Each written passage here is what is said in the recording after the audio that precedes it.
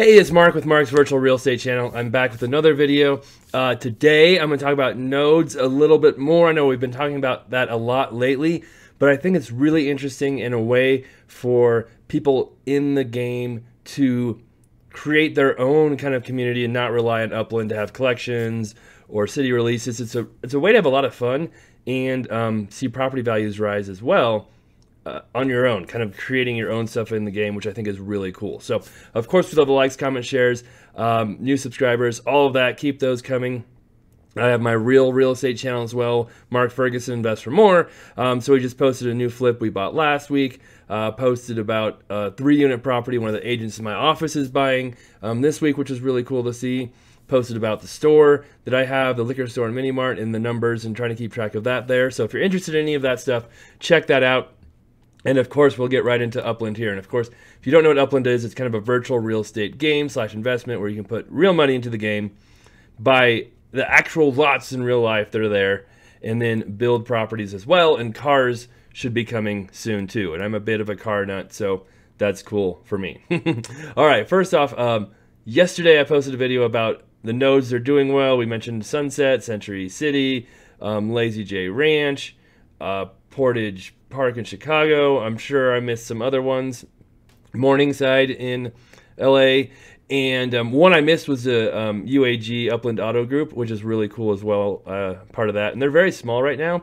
So if you're into cars, that might be a cool one to check out as well. And then um, I also mentioned if I should start my own node. I had so many people comment, and um, a lot of the Century City um, people came over and commented. So I really appreciate that. Thank you. Um, helps my channel out a ton and kind of showed how much support you guys have for your um, node because I had like 50 comments. So that was pretty cool to see.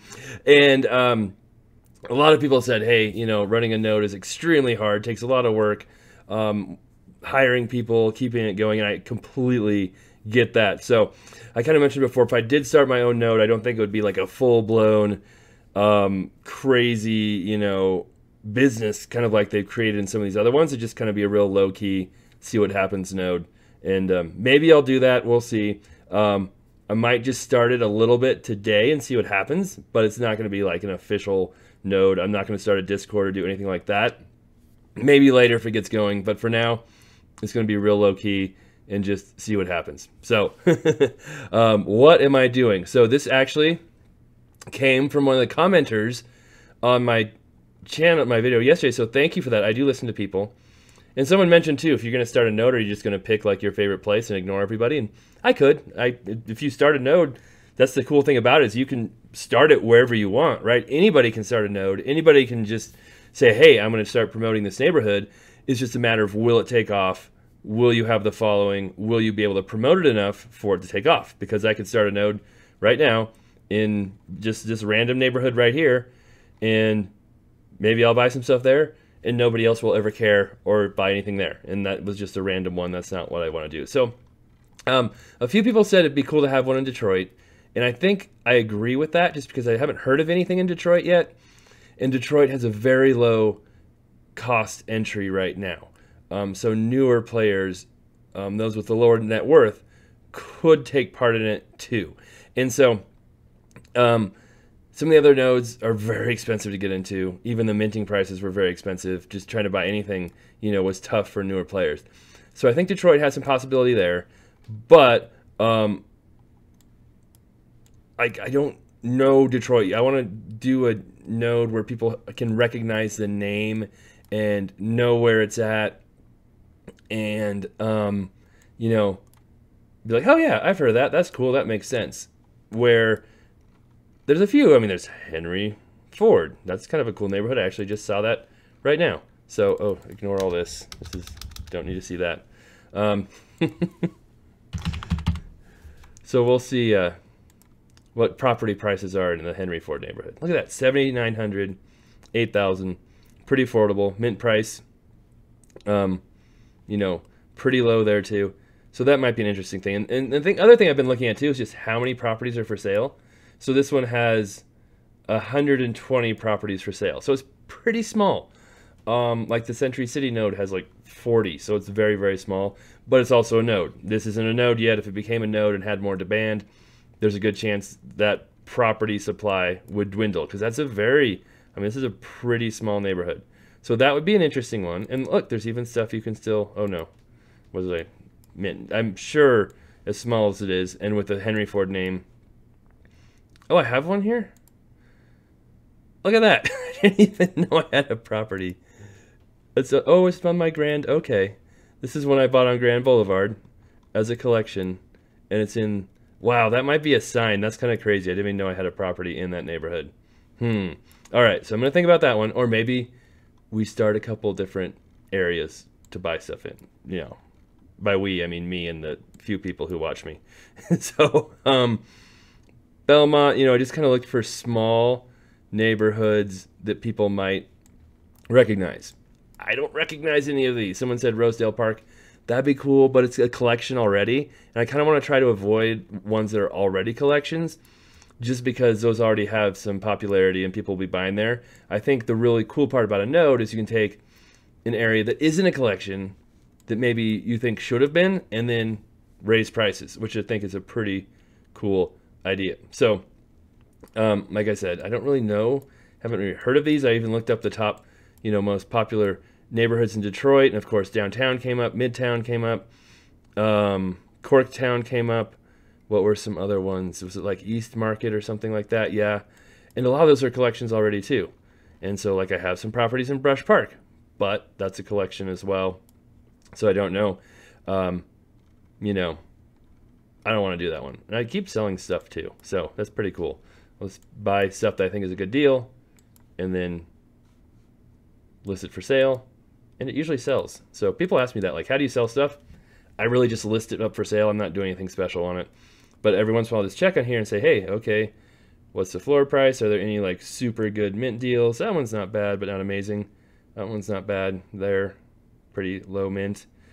And that's kind of how I do stuff. And if I see, you know, super cheap properties, then I usually just buy them and we'll put them back up for sale, wait a while, and usually they'll sell. So that's just, there's, that's, you know, kind of a cheap one on Woodward with a sort of low mint, but not quite that crazy. Just like in Riverdale in the Bronx, I just picked up one for 140,000 UPX when the floor has routinely been 180 to 190 UPX and saw that, snatch it up right away, and we'll try and resell that. All right. So I think I've come up with maybe two places where I'm just going to start buying some stuff. Like I said, it's not like an official node. It's not like, oh, I'm going to like promote it everywhere. It's just kind of where I'm just going to start buying things that look like good deals and then see what happens. And the really cool suggestion I had was Eight Mile Road. So almost everybody knows Eight Mile thanks to Eminem. Um, it's got tons of gas stations. The other kind of cool thing too is someone like, hey, that could be a drag strip. And that is true because there's tons of gas stations. It's kind of commercial. And while it's a very, very long road, right? It goes from all, you know, one side all the way to the other. I noticed this when people were minting properties in there for sale. There's not that many properties on it because one side is outside Detroit, and then most of the properties along here are fairly large. So I had one on 8 Mile. Do I still have it? Or did I sell it? I can't remember. It would have been. Oh, yeah, I still have one on 8 Mile. So I have one here too. And that was when I bought before the collections were announced. I paid 59000 for it, quite a bit. Um, and that was, you know, that kind of shows the gamble of buying before the collections and what is it? A chiropractor. If you're in pain, come right in. Talk about being direct. There you go. so, oh, a pedestrian. Okay. So, yeah. You buy, you hope it makes it into a collection. If it doesn't, you lose your money. That's why I don't like gambling on collections. Um, but it worked out really well in Detroit on other stuff I minted. So I'm going to start buying some stuff on 8 Mile, and I'm literally going to do it right now. And I know I just showed you guys this and you probably saw that and got some hints, but that's okay. So you can see the sale price, the min price. There's some stuff that's pretty cheap here. I mean, and oh, I was to show you this too. Yesterday there were 112. Yeah, there's still 112 for sale, so there's not that many for sale. So I think this is kind of a decent area that could, you know, have some utilization, people recognize it.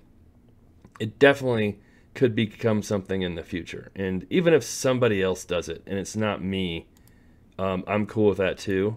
Because, like a lot of you, I've said a lot, and a lot of you said too, if you're really busy, um, starting a node is probably not the right choice.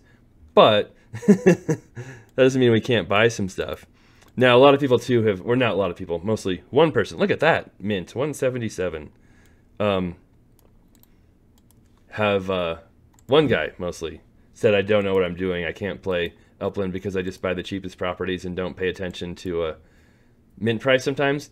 And that is true. I do do that um, because if I'm reselling stuff right away, a lot of times I want the cheapest property because people will buy the cheapest properties. Make sure that's the right one. Yep.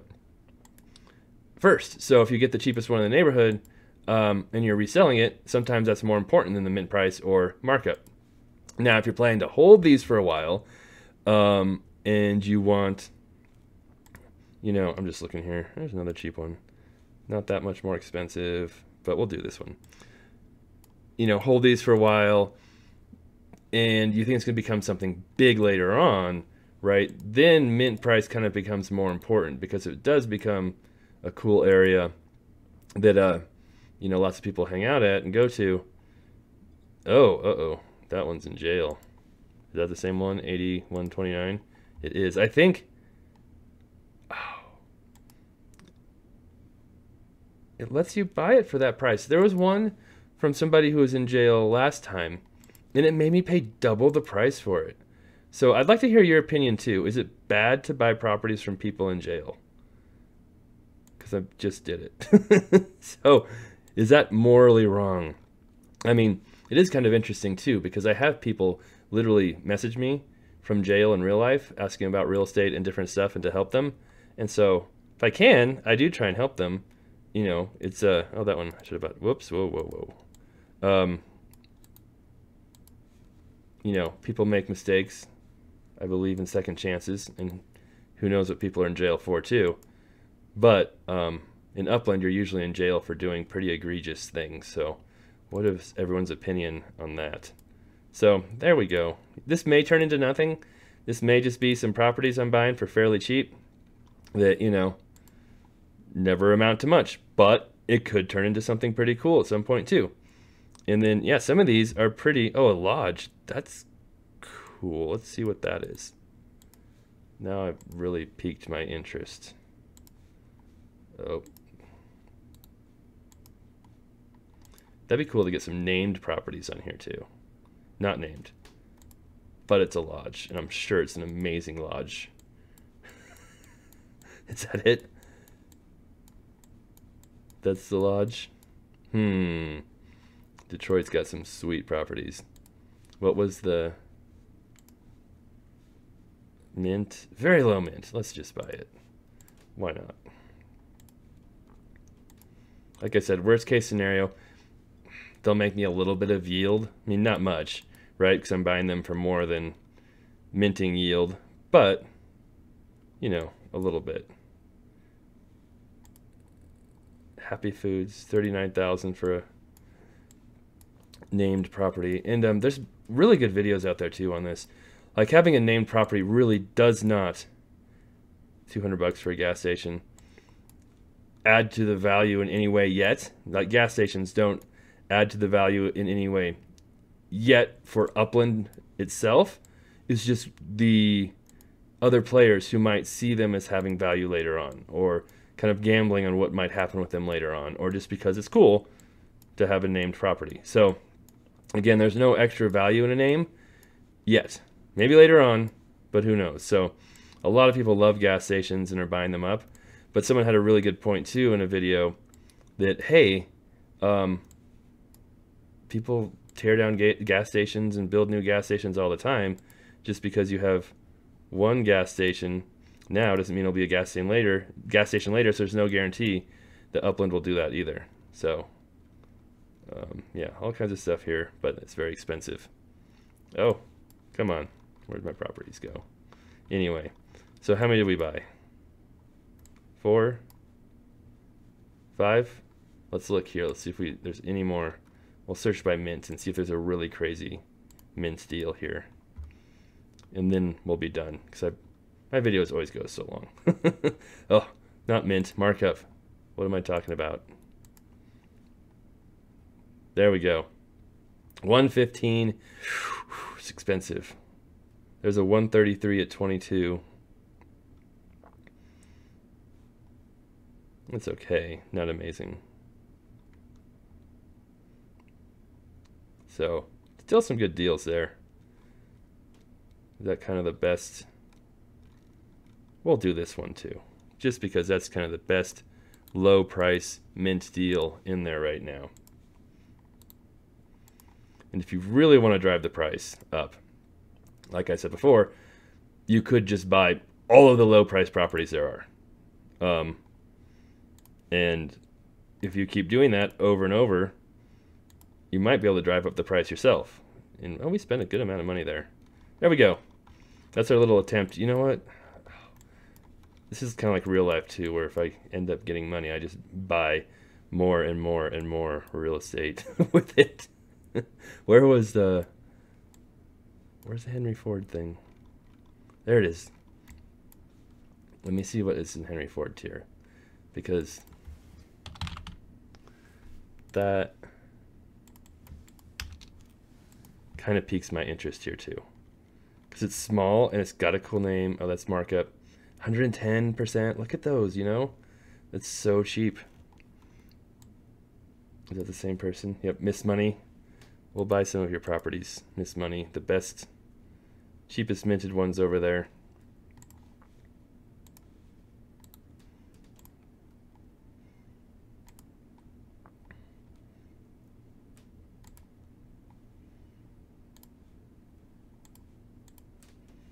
And then, what was the other one? 1632. There it is. Look at that. That was good. Okay, so we bought some of those. And then let's look at the sale price too. The cheapest ones there. What was it? 7,000? Yeah. Oh, it's pretty cheap. So not a lot here. They're very cheap. But if a lot of people start buying here, and all of a sudden it's a Henry Ford node, and everybody hears that Henry Ford node, you know, these prices could raise pretty quickly. Okay, so I went on a little buying spree and bought two, three, four, five, six, eleven properties in Henry Ford. No, 10. I already had one on Grand. So uh, maybe I'll just see what happens if I keep buying properties there when they're cheap and go from there. There you go. All right, that's all it for now. I have to get back to my real life job. So thank you guys for watching. Appreciate all the comments. Love seeing all the people chiming in yesterday. Love seeing the likes and shares. Keep that coming too. And we'll be, we will be back with much more coming here, here soon.